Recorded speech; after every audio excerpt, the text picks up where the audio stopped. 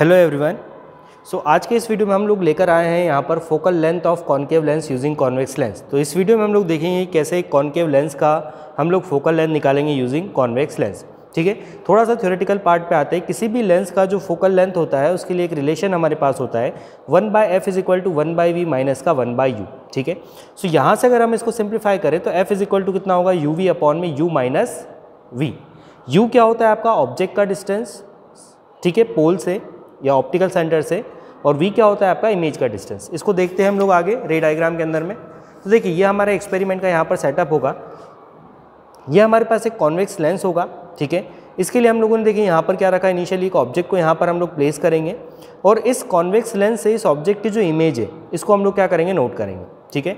सो ये हम लोग कैसे करते हैं? हम लोगों ने पिछले वीडियो के अंदर देखा था जब हमने कॉन्वेक्स लेंस का फोकल लेंथ निकाला था। ठीक है? अभी मैं आपको बताऊँगा भी सही ये चीज़ करके। सो so, ऑब्जेक्ट को रखा कॉन्वेक्स लेंस को रखा इसका हम लोगों ने क्या करा? इमेज का लोकेशन निकाला।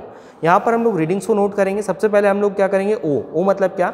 ऑब्जेक्ट जहाँ पर हम लोगों ने रखा था वो रीडिंग को नोट किया। उसके बाद हमने एल वन एल वन मतलब क्या? इस लेंस का पोजीशन जो है इसको हम लोगों ने यहाँ पर क्या किया? देखिए नोट किया। ठीक?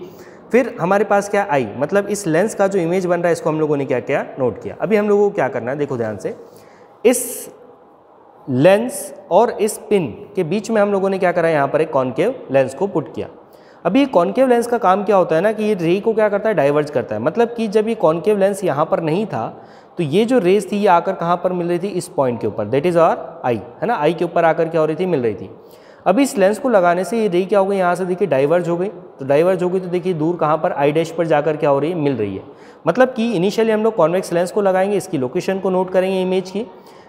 बीच में हम लोगों ने यहाँ पर क्या रखा है कॉन्केव लेंस अभी हम लोग फर्दर इमेज की लोकेशन को नोट करेंगे। इसको हमने क्या बोल दिया आई डैश अब ध्यान से समझिए कि जो पहले वाला आपका कॉन्वेक्स लेंस है ना, इसका जो इमेज बन रहा था, वो इस सेकेंड लेंस के लिए क्या करा एज अ वर्चुअल ऑब्जेक्ट काम करा। इसका मतलब क्या है कि इस लेंस से इस आई का जो डिस्टेंस है, इसको हम क्या बोल सकते हैं? यू ठीक है?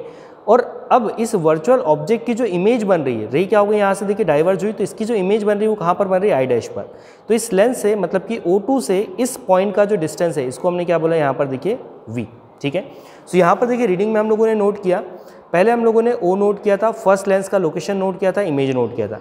फिर हमने सेकेंड लेंस जो रखा है कॉन्केव लेंस जिसका हमको फोकल लेंथ निकालना है, उसकी लोकेशन को नोट किया which is equal to what O two तो ये देखिए यहाँ पर क्या है लेंस टू की लोकेशन ओ टू इसको हम लोग नोट करेंगे। देन हम लोग क्या करेंगे, इसकी वजह से जो इमेज आ रही है फाइनल उसको हम लोग यहाँ पर क्या करेंगे, नोट करेंगे, ठीक है?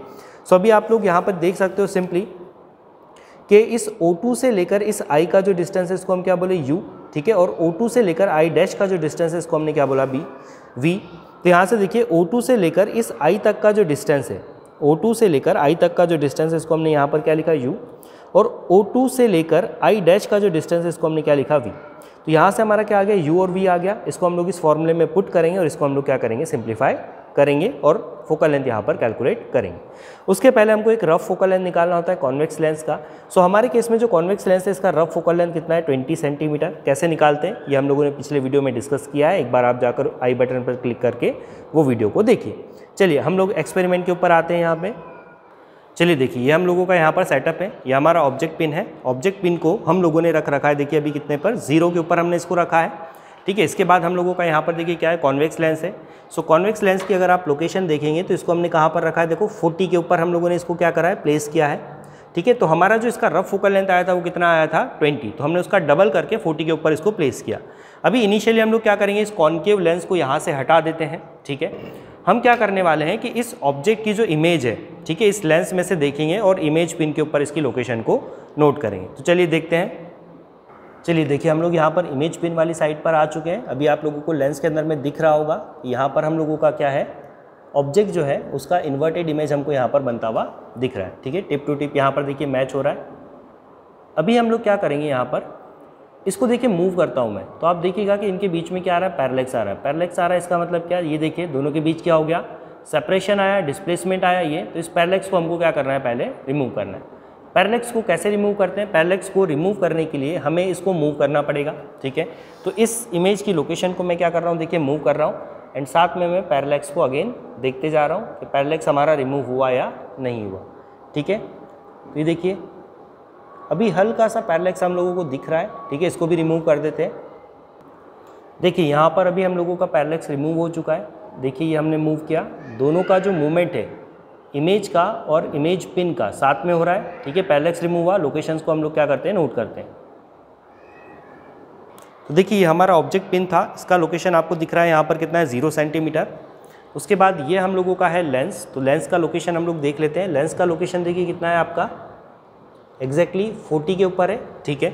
और इसकी जो इमेज यहाँ पर बनी है इस इमेज की लोकेशन को अभी हम लोग देख लेते हैं।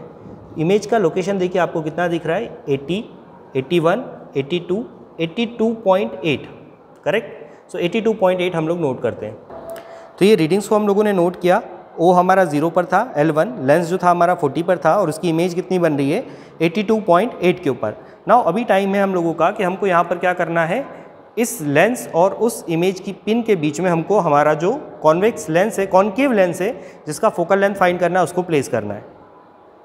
देखिए, अभी हम लोगों ने हमारी इमेज पिन को यहाँ से हटा दिया है और इस लेंस को देखिए, हम लोगों ने यहाँ पर क्या करा है? प्लेस किया है।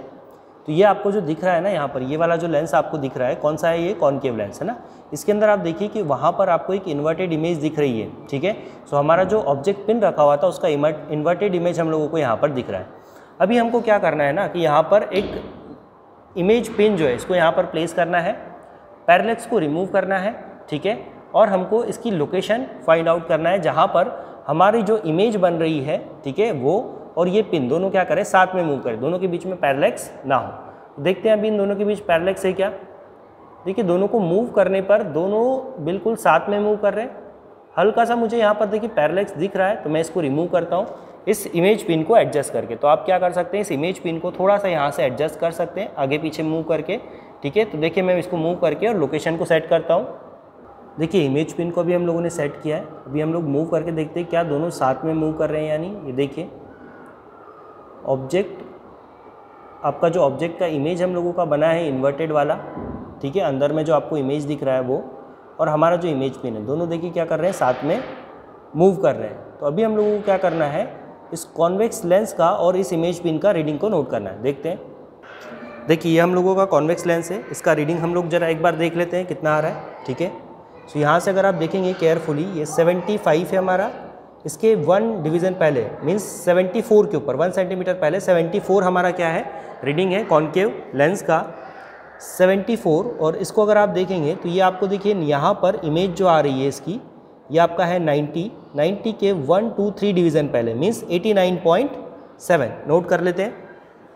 चलिए देखिए रीडिंग को हम लोगों ने नोट किया। हमारा जो कॉन्केव लेंस था वो 74 पे था। उससे जो इमेज बन रही थी वो कितना था? 89.7 इसका मतलब क्या? ये हम लोगों का लोकेशन था, ठीक है? ये लेंस हो गया। O2 से लेकर यहाँ तक का जो डिस्टेंस है, ठीक है? वो हम लोगों को निकालना है। तो O2 हमारा क्या है? कॉन्केव लेंस का पोजीशन और ये जो हमारा पॉइंट है किसका है? हमारा इनिशियल इमेज का पोजीशन तो यहाँ से आप देखिए कि ये जो है हमारा आई है। इनिशियल जो इमेज बन रहा था कॉन्वेक्स लेंस का। यहाँ से अगर मैं इस L2 का डिस्टेंस निकालता हूँ तो ये कितना आएगा? Six and two eight point eight. तो यहाँ पर देखिए आई ओ टू मतलब कि यहाँ से आई से लेकर ओ टू तक का जो डिस्टेंस है वो कितना है? Eight point eight. और फिर हमको वी निकालना है। वी इज़ इक्वल टू कितना था हमारा? आई डैश ओ टू तो यहाँ से देखिए आई डैश ओ टू का जो डिस्टेंस है, eighty nine point seven minus seventy four so ये आएगा आपका फिफ्टीन पॉइंट सेवन तो ये हमारे पास यू आ गया वी आ गया। फॉर्मूला क्या है हम लोगों के फोकल लेंथ का? यू इंटू वी अपॉन में यू माइनस वी तो हम लोग यहाँ पर इसका कैलकुलेशन कर देते हैं। देखिए, एट पॉइंट एट, ठीक है into fifteen point seven upon दोनों का डिफरेंस तो फिफ्टीन पॉइंट सेवन में से अगर मैं एट पॉइंट एट को क्या करता हूँ? माइनस करता हूँ, ठीक है? सो ये वैल्यू निकल कर आएगी आपकी सिक्स पॉइंट नाइन ठीक है? Six point nine so so, अभी आपको इसका कैलकुलेशन करके मुझे कमेंट सेक्शन में बताना है कि वैल्यू कितना आ रहा है। नियरली आपका 20 सेंटीमीटर के अप्रॉक्स आएगा। बिकॉज़ हम लोगों ने यहाँ पर जो कॉन्केव लेंस का यूज़ किया है ना इसका जो फोकल लेंथ है वो कितना है आपका? 20 सेंटीमीटर तो आंसर आपका कितना आना चाहिए? 20 सेंटीमीटर के अप्रॉक्स नाउ एक रीडिंग हम लोगों ने निकाली। इसी तरह से आप दो तीन रीडिंग को और कैलकुलेट कर सकते हैं। कैसे निकाल सकते हैं? जस्ट अभी हम लोग क्या करें इस कॉन्वेक्स लेंस का जो लोकेशन है अभी हमने इसको कहाँ रखा था? देखिए इसको अभी हम लोगों ने रखा था फोर्टी के ऊपर में। ठीक है? सो इसको हम थोड़ा सा शिफ्ट कर देते हैं। 40 से हम लोग इसको थोड़ा सा शिफ्ट करके लेट से मैं इसको रख देता हूँ यहाँ पर 37 के ऊपर, ठीक है? फिर हम लोग क्या करेंगे? इस लेंस को हटाएँगे।